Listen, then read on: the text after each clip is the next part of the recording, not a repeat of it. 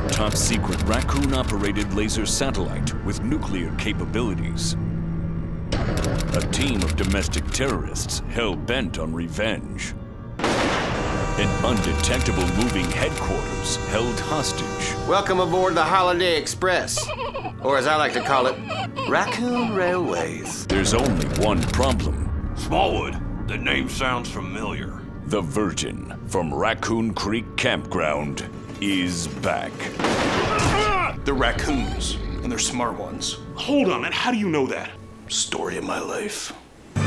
This Christmas, you can roast some chestnuts. I never want to see another raccoon again. You can leave cookies out for Santa. Ho, ho, holy!